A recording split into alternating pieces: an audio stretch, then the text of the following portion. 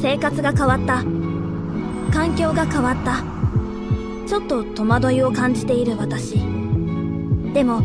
変わらない安心もある。あまたあのオレンジ色のバスがやってきた。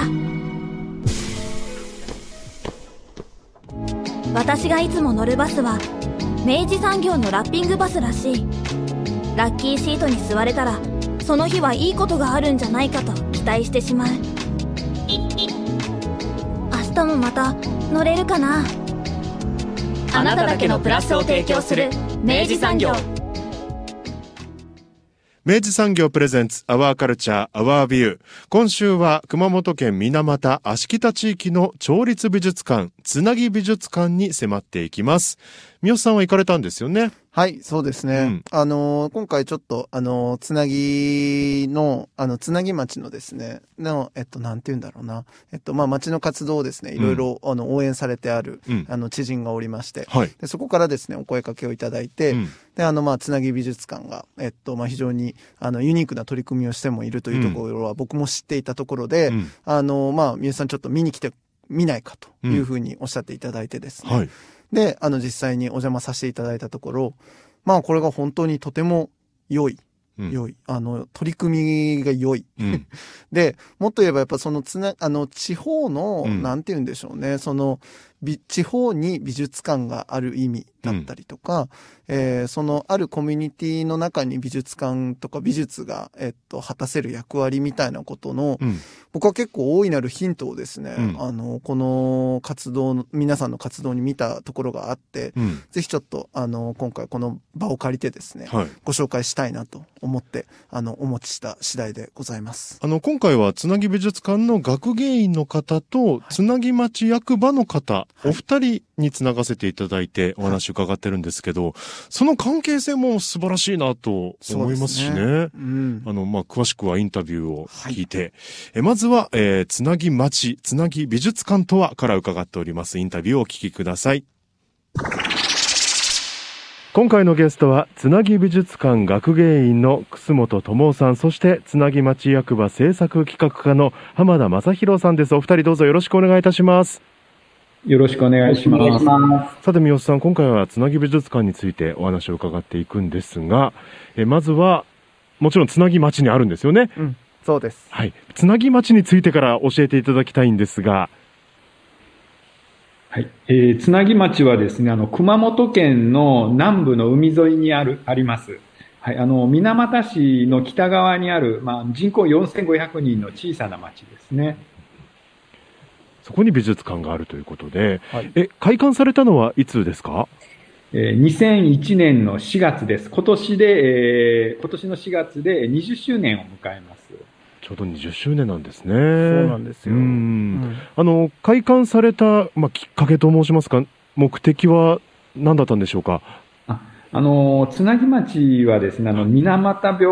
のあの、被害地域でもあるんですよね。はい。で、あの、水俣病からの、あの、地域再生を目的に、まずあの、1984年にですね、緑と彫刻なる街づくりうんというのがあ始まりまして、えーその後もですね、37年間にわたり、えーアートによる街づくりを進めているんですけども、えーその2001年にですね、えーこれらの、えーアートによる街づくりの活動拠点として、つなぎ美術館が開いたわけ、オープンしたわけですね。うんとなると、まあ、その主な、まあ、目的と申しますか、どういったところになりますかね？はい。あのーえー、水俣病からの地域再生を目的に、えーアートによる街づくりが始まったので、このやはり美術館の、えーミッションとしても、あのー水俣病からの地域再生っていうことが言えると思います。うんで僕実際あのつなぎ美術館あの事前にですね、はい実はお邪魔させていただいたりもしたんですけど、はい。あのまあこの後のお話またあの聞いていくとよくわかるあのお分かりいただけるところもあると思うんですけど、はい。あの非常にですね市民と近いというか、うん。あの市民と共にある美術館なんだなっていう感じがしていて、うん。うん、でそのあたりとかっていうのは本当にやっぱりその水俣病の心をアートで癒すというか、うん。まあ、そういうやり方に非常につながるなんか非常に丁寧に大切に市民とまず向き合ってあの一個ずつの活動を積み上げられている印象があります楠本さん。うん。あのそうですね、えーとまあ、地域再生って先ほど僕申し上げたんですけども、はい、じゃあその、まあ、公害によってこう傷ついたあの、松なぎ町周辺のこう市町村もそうですけども、うん、地域再生というのはこう何を指すのかっていうところが、まあ、一つすごく大きな問題なんですよね。はい、あの例えば、えーまあ、もちろんあの健康ねあの、えー、水俣病になられた患者さん方のこう健康のこう健康被害の回復っていうのがもうあの一番なんですけどもなかなかこう今の医学ではそれが難しいしすでに亡くなられた方もいらっしゃると。で、では、その、まあ、当時、まあ、あの、非常にあった、こう、風評被害ですよね。うん、えー、そういうものからの、こう、えー、そういうものをこう払拭する、負のイメージをこう払拭するということが地域再生なのかと。うん、でも、まあ、実際にまだ患者さん、あの、こう、えー、水俣病で苦しんでいらっしゃる患者さんがたくさんいる中で、こう、イメージだけが払拭しても、これだと本当の地域再生とは当然言えないし、うん、じゃあ、あの、たくさん観光客の方が、えー、来られて、えー、まあ、それで賑わうとか、あるいは、あの、つなぎの特産品が、こう、たくさん売れるとか、うん、えー、まあ、それももしかしたら地域再生の一つかもしれませんけど、やっぱりこう、それぞれ、こう、の、あの、まあ、立場っていうか、人によって考え方が違うと思うんですよね。うん、で、三好さんおっしゃったように、えー、まあ、美術をこう、接することによって、美術にを見ることによって癒される人もいるかもしれないし、うん、でも、あの、美術っていうのは、こう、万人に、あの、対して向けられるとはいえ、それをこう、それによって癒される人っていうのは、えー、みんながみんなやはりそうだとは限らないわけですよね。うん、なので、えー、そういう意味では非常に、こう、何をもって地域再生かっていうのは、あの、みんなでもう一回一緒に考えないといけないなと。うん、で、それを考えるための、こう、手段の一つとして、まあ、文化的装置として美術館があるんじゃないかっていうふうに思って、今、三好さんがおっしゃったような、こう、えー、住民と一緒に活動してるわけなんですね。うん。だからそういう意味では、その別にアートで課題解決をするというよりかは、むしろみんなで解決するための手段として、そこにまず美術館というものがあって、で、まあ、そこでみんなで寄り合って考える。であの自分たちなりの答えを見つけていく、うん、まあ本当そういうエンジンみたいなまあ、あの目的はねあのいろいろあった方がいいですしその、まあ、選択肢もいろいろあった方がいいですし、うん、そのうちの一つとして、まあ、この存在っていうのは大きいですよね、うん、僕だからすごいなんかいいなと思ったんですよ、本当にこう市民と対話するためにある場所というか、あのそこからあの交流が創発する場所としてあるんだなっていうのが、とてもいいやり方だなと思って個人的にもあのすごく気にもなっていたし、今回こうやってご縁あのご縁いただけたのとっても嬉しいんですよね。楠本さんはあの学芸員としても開館の時から携わってらっしゃるんですか？そうですね。あの開館と同時に採用になりましたので、はい、あの2001年の4月の開館の時からですねもうずっとつなぎ美術館にいます。うん。それからまあ20年ですけどもうやはり年を追うごとにつなぎ美術館のこう存在というものはいろんな方に入っていったという、あります？なんかそういう感触といいますか。あまあ、そそうですね。徐々にですよね。あの、まあ、先ほどもちょっと触れたように、こう、美術っていうのはなかなかこう、あの、なんていうんですか、こう、日常の中に、こう、ない、まあ、都市部であればまた少しね、環境は変わってくるとは思うんですけども、えー、まあ、1984年から、えー、緑と彫刻のある街づくりをこう進めてきたとはいえ、やはりこう、2001年に美術館ができた当時っていうのは、まだまだこう日常の中に美術っていうのはなかったわけですよね。うん、となると、えー、やはり、えー、よく言われるのは美術館っていうのは敷居が高いと、うん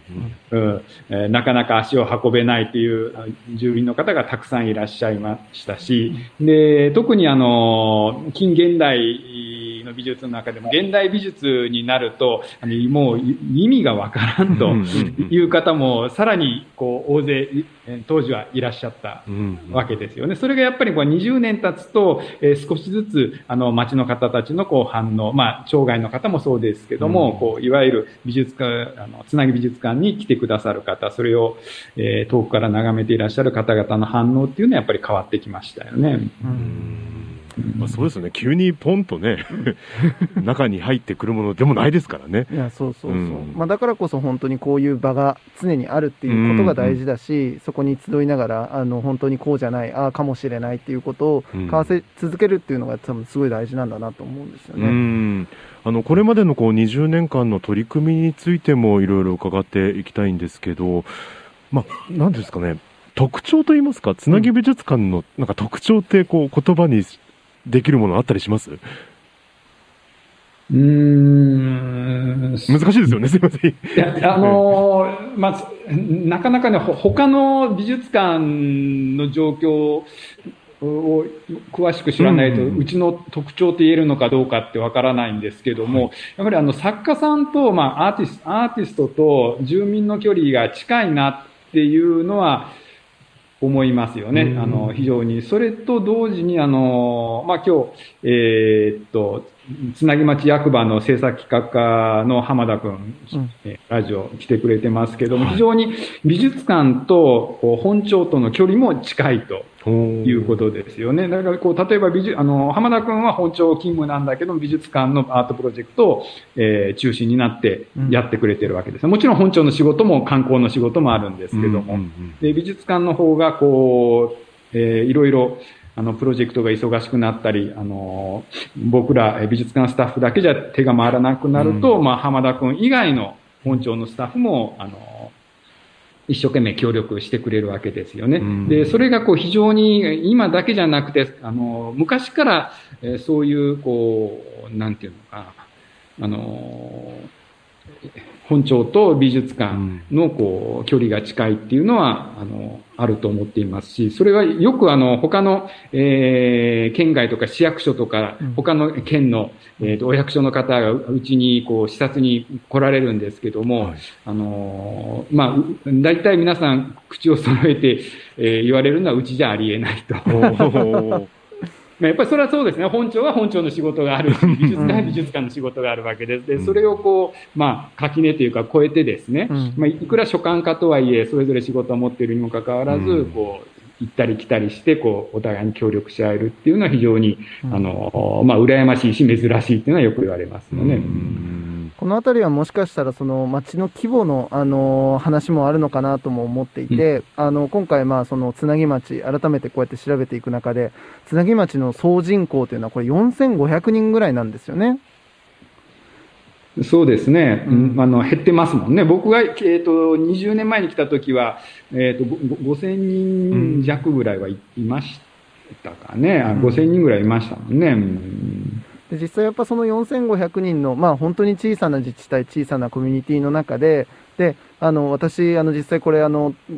あの一回視察にお邪魔させていただいて案内してもらった時にうん。驚いたのが、その案内される、まあ、市役所のある担当者の方がですね、は本当に町の人みんなと知り合いなんですよ。あ、もうじゃあ通り過ぎていく方々、そうそう皆そう。うん。あなんとかくん、お久しぶりみたいな感じで、本当にすれ違いざまにご挨拶をされたりとか、はい。あともっと言えば、あ、あそこの車、あの、今あそこ止まっとうってことは、なんとかさんあそこにおるね、とかって言って、車のナンバーレベルでですね、ええあの、その方たちが分かっているみたいな、うん。本当に顔と、まあ人間が本当に全部つながっているようなコミュニティで、まあそういう中で、やっぱりその美術館、一つの美術館を、なんかこう、どっかの所管だけがやってるのではなくて、うんやっぱみんなでこう盛り上げていくだったりとか、みんなでこうみこしにしていっているような感覚みたいなのが、うん。あの本当に今のさっきのお話の中にもあったように非常に羨ましいやり方だし、うん。とてもいいなっていうふうに個人的には思うんですけど、楠本さん、まあ、現場はなかなか大変だと思うんですけど、どうですかね、そういうのね。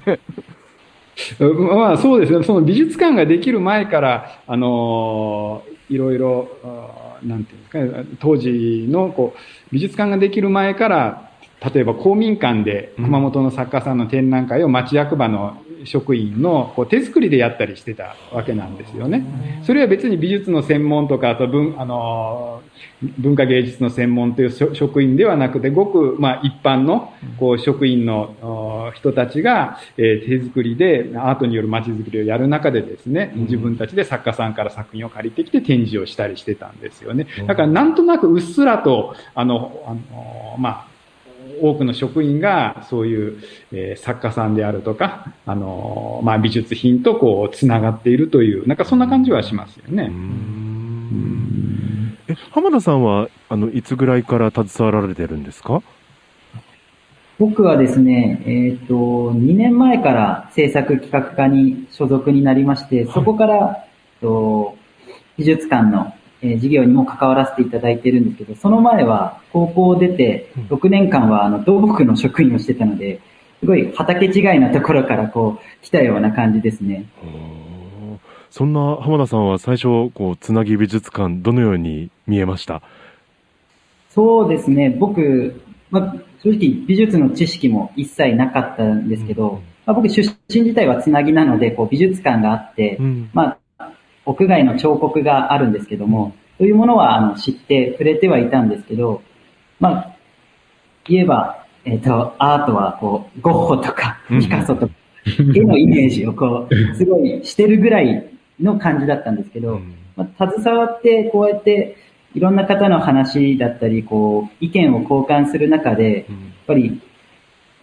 アートが、こう、美術館が持ってる、こう、機能というか、力っていうのが、ものすごくいろんな人に働ける、あの、可能性がある部分で、ここにこう、携わった最初のプロジェクトが、まあ、この後ご紹介するプロジェクトなんですけど、うんまあ、そこでぐっとこう引き込まれた感じはありますね。うーん頼もしいですね。いいですね。なんか、あの、美術が正しく作用している現場だなっていう感じがしますよね。本当に。嬉しいですね。えーもうやっぱりその美術館があるっていうのはもうやっぱりまあ地元の方々はもちろんそうなんでしょうけど、はい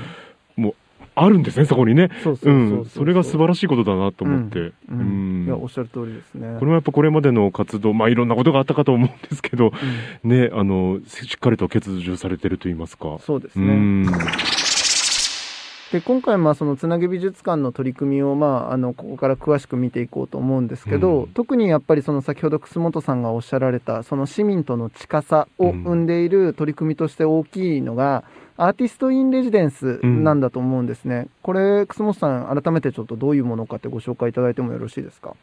はい。えーっとですね、アーティスト・イン・レジデンスを、あの、つなぎ美術館が始めたのが、2014年なんですよね。で、それまでは、あの、アートプロジェクトはやってたんですけども、えーっと、レジデンスプログラムっていうのはやってなかったんですよね。で、まあ、そもそも始めたきっかけというのが、まあ、私も町外からえー来てたんですけども、で、アパート住まいだったんですよね。で、ちょっともう子供も大きくなってきたんで、あの、一軒家が借りたいなと思って、で、まあ、あの、町の人たちに話をすると、まあ、いくらでもあると一軒家、もう空き家、まあ、どこもそうですけど、うん。ね、一軒家いくらでもあるから、もうなど、どれでも借りられるよっていうような話を皆さんされるわけですよね。えーで、ああ、よかったなと思って、ところが意外と話をがこう具体的になってくると、あの、いやまあ、そうは言ったけども、やっぱりその、あ例えばまあ息子が帰ってくるかもしれんとか、あの、む娘が帰ってくるかもしれんとか、あと、まあ中にちょっといろいろ物が入ってるから、うん。ちょっと今、あしばらくは貸されんとか、でわ割となんかこう、皆さん、うーんなんていうのかな、こう、話が具体的になると、おなかなか貸してくださらないんですよね。なるほど。うんで、まあ、それなんでかなと思って、で、あるのはあるんですよ。まあ、こう、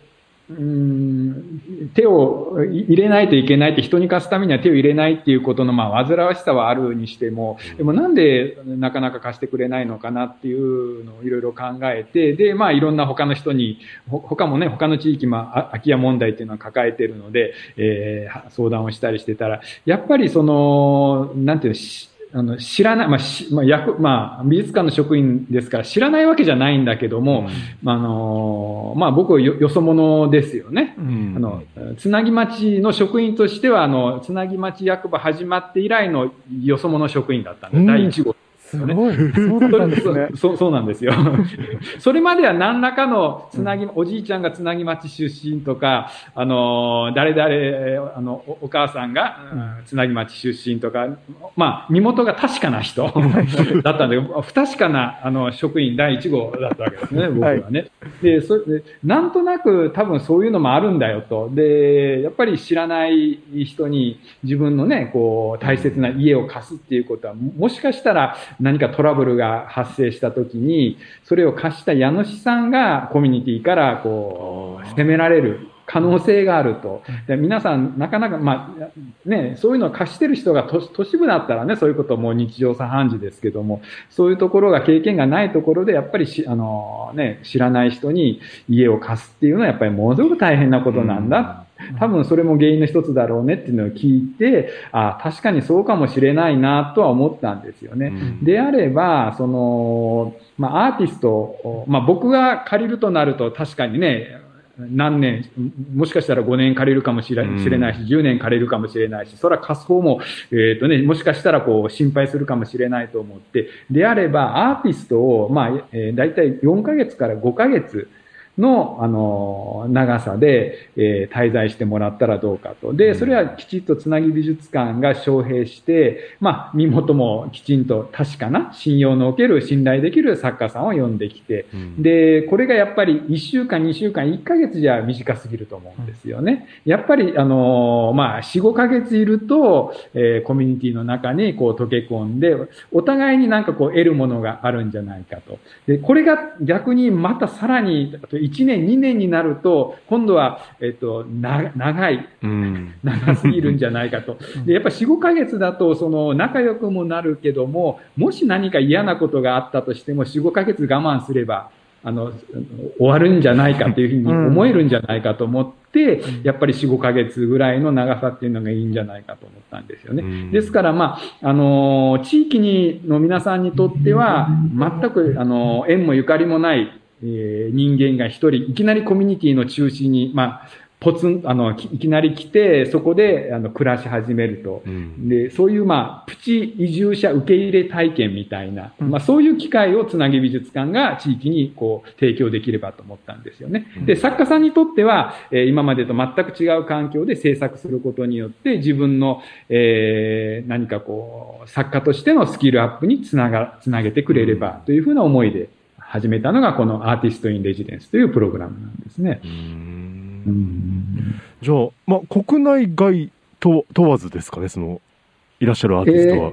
えー、えー、っとですね、えー、今6年間、2019年で6年間、はい、あの、終わっ、えー、で、一区切り。はいになってるわけなんですよね。はい、で、えー、今年のあ、去年の12月から今年の2月にかけて、この6年間分の、えー、作家さん、あの、招聘した作家さんは必ず、あの、えっ、ー、と、滞在中に制作をして、で、えー、作品、作った作品の一部をうちが、あのー、収蔵するシステムになってたんですね。個展を開いてもらって全部は無理なので、その一部を収蔵すると。で、今まで6人分の作家さんの収蔵作品と、えー、今活動してる、あのー、最新作をそれぞれ、えー、作家さんに出してもらって展示した、あの、つなぎだよ全員集合っていう企画展が、あのーえっと、去年12月の初めから、えー、今年の2月の、えー、さえ中旬までですかね、やってたんですよね。うん、で、まあ、その時は日本人、日本の作家さんだけだったんですけども、はい、今度、まあ、それがこう一段落したので、えー、本当は来年からですね、来年っていうか、今年か、本当今年の冬には、あの、後継企画として、あの、台湾の作家さんを招聘して、うん、えー、レジデンスプログラムを開催しようと思ってたんですけども、うん、まあ、あの、新型コロナ、うん、のことがありまして、で、去年の 3, 3月の終わりに私も台湾に行って、で、そこで準備をしてきて、本当は、えっ、ー、と、去年も、その後に台湾のキュレーターの方とかですね、作家さんにも、つなぎ町に来ていただく、調査に来ていただく予定だったんですけど、まあ、人の往来ができなくなってしまったもんだから、うん、今、ストップ、それがこう中断してしまっておりまして、うん、なので、まあ、1年遅れで、今年を準備期間にしてですね、うん、で、来年、あの、その台湾の作家さんを招聘する、レジデンスプログラムが開催できればいいなと、今思思ってるところですね。でも、楠本さんご自身がも初めてね、あの、ゆかりがない移住、うん、まあ、住んでらっしゃる方になったってことは、もちろんアーティストの方も、ね、これまで地域の方々にとっては、誰なんだっていう 方がお住まいになることになったわけですもんね。うん、それは最初はちょっとやはり、まあ、ちょっと言い方悪いですけど、まあ、抵抗みたいなものも、なんかお気持ち的には住民の方はあったんですかね？いや、あのーそうですね。だから最初の一人目を招聘するっていうか、家がなかなか見つからなくてですね。で、やっぱり僕の時と一緒で、あのーまあ、最初は皆さんいいいんですけども、なかなかこう具体的な話になると、えーこう躊躇されてて、まあ、そういう中で一人、あのーいいよって言ってくださる、えー方がいらっしゃったんですよね。その方は、えーその方の、まあ、お友達が、あの、昔、えー昔というか当時、つなぎ美術館の別のアートプロジェクトをよく手伝ってくださってて、で、まあ、そういう方の紹介があって、えーもう、であれば、もう、あの、人、一肌脱ぎますということで、もう大変だったんですよ。その家の中にたくさん物が入れてあってですね。で、それを、そこをきれいに全部、あの、中にある家財道具とかを3世帯ぐらいで暮らしてらっしゃったのかな。で、今もうすでにその時は別のところに移ってたので、その空き家をきれいに片付ければいいからっていうことで、ただ、すごく大変で、実際になんか今日掃除されてるっていうから見に行ったら、その家族総出で、あの、おじいちゃんおばあちゃんまでみんな一緒になって、こう、汗かきながら、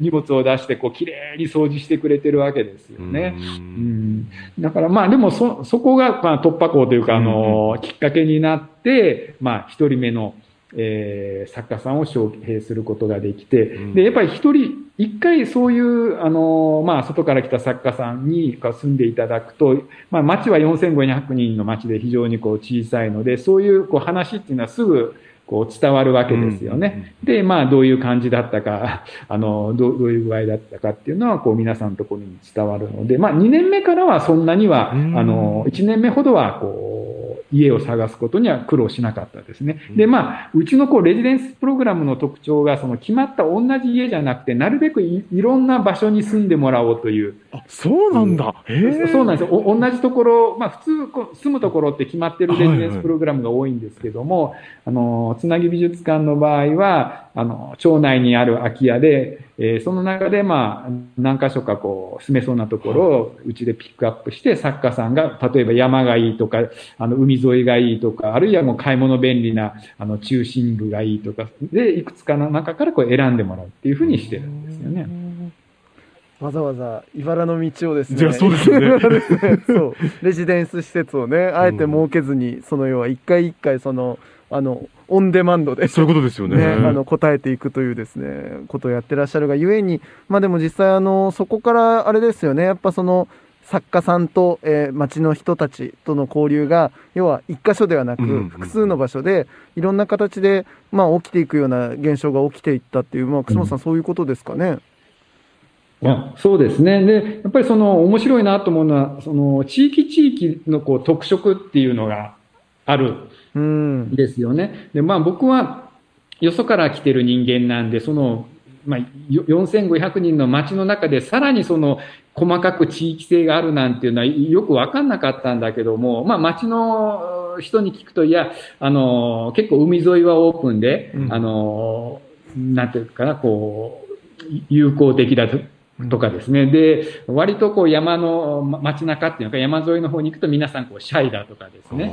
で、同じ海沿いでもこっちの海沿いの集落はもうさらにもっとオープンで、こっちはもうちょっとこうだとかですね。なんかこう細かくいろいろなんか気質が分かれてるみたいで、で、おなんかそう聞いた通りに割となんかそれが反映されてるのがお面白かったたですよね。やっぱりこう、海沿いのこう、なんていうのかな、すごい元気のいい集落だとどんどんどんどん、うなんていうのかな、こう、作家さんもあちこちにこう引っ張られていって、で、えー交流も盛んになったり、で、あの、割とこう、シャイな集落って言われると、ここじんまりとこう、したこう交流が、それでもちゃんと交流はね、こうん。う発生はしてるんですけども、あの、それぞれの地区で、こう、地区なりのこうやり方っていうのかな、うん、そういうものがこう見えてましたよね。面白い。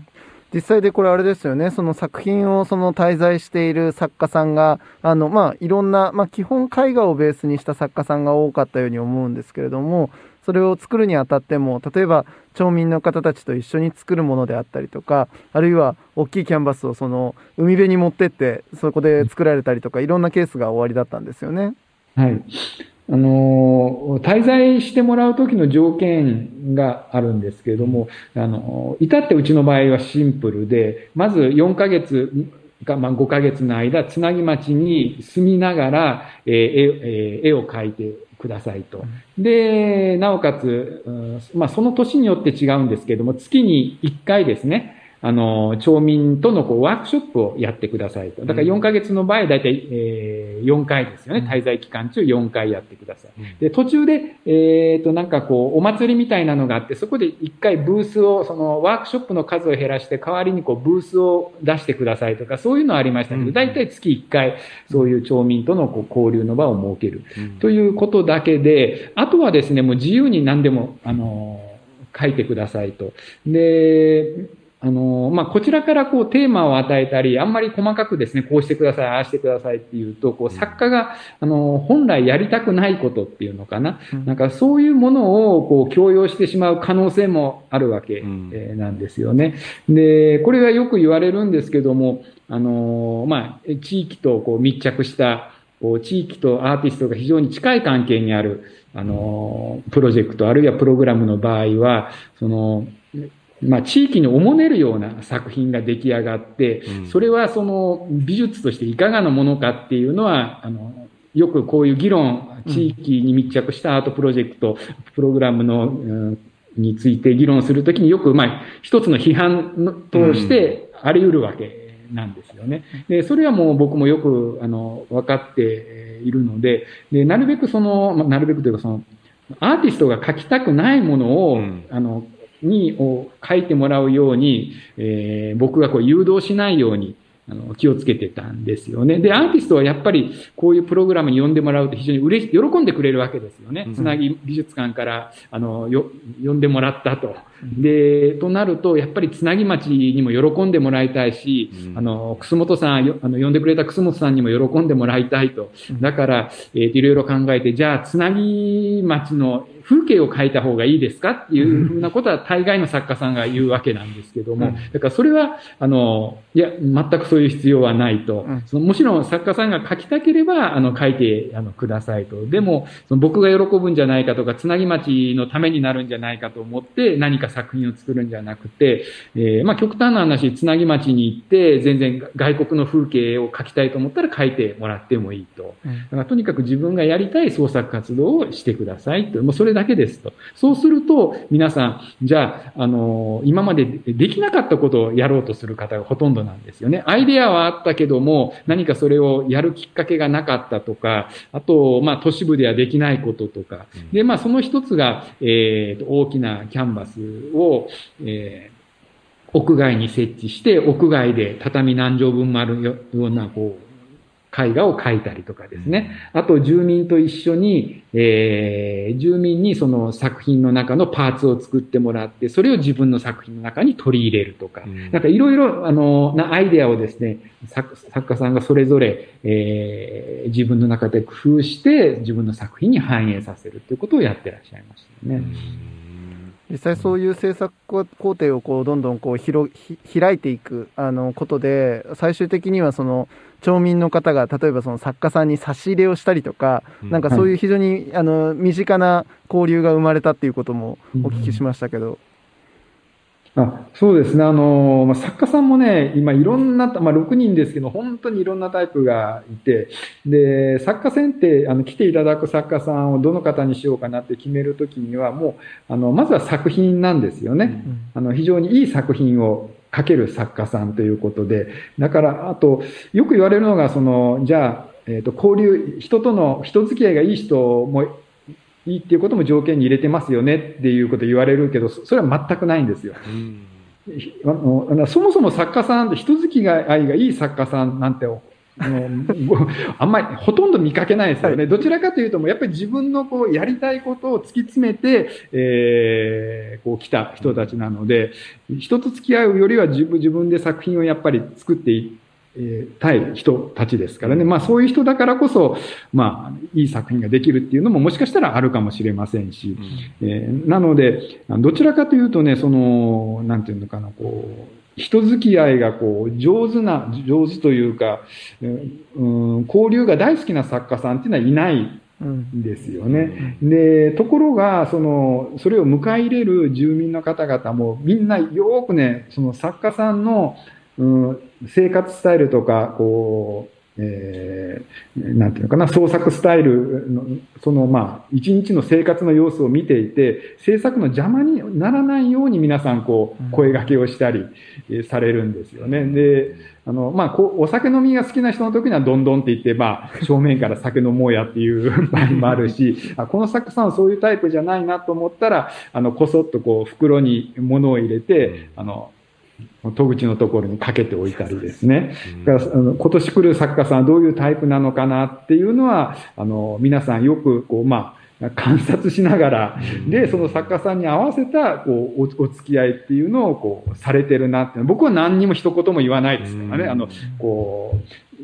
よそから、美術館からなんか、あんまり僕は関わりすぎると、あの、住民と作家さんとのお付き合いを阻害してしまうことになるので、僕はほとんど関わらないんですけど、なんか皆さんが、住民の方が、こう、えー、自分たちで考えて作家さんとの、こう、距離であるとか、お付き合いの仕方っていうのを考えていらっしゃいますよね。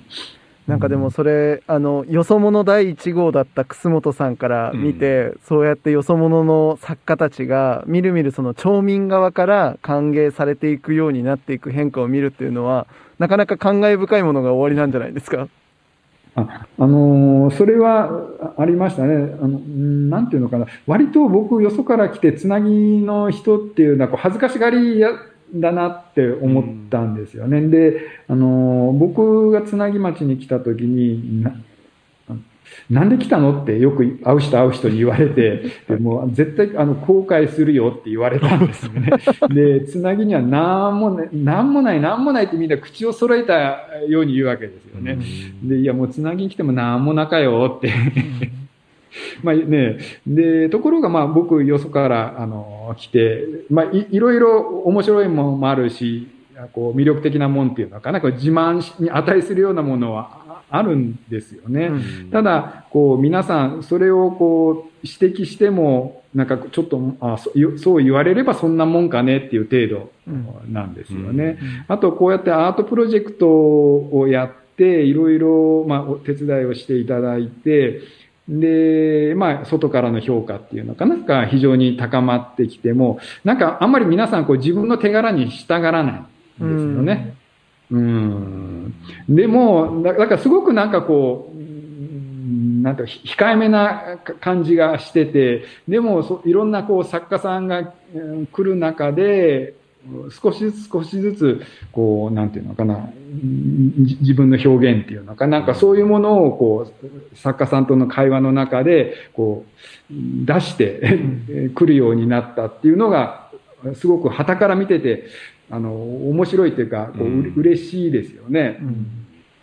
となると、まあ、最初はね、いろんな理由で4ヶ月って決められたと思いますけど、もう名残惜しいでしょうね。そうですね。別れる頃にはね。ね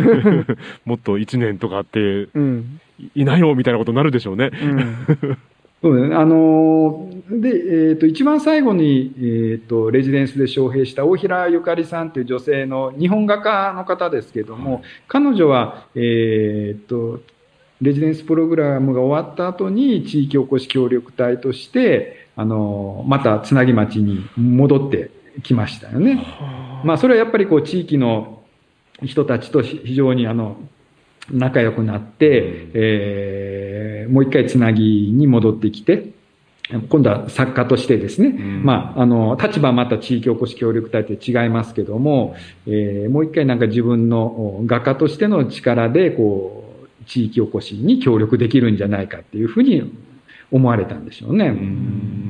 いやなんかこれすごい本当にあのこのお話はすごい話だなと思っていて、うん、で例えばこのあの活動を通して一人のまあ人が最終的にそういうふうに地域に新しい人として定住することになったっていうことっていうのは、例えば僕らの福岡市で考えると、160万分の1なんですよ、うんうん、なんだけどこっちで言ったらこれ4500分の1なんです、うん、だから1人が占める割合とその社会に対する影響力みたいなものは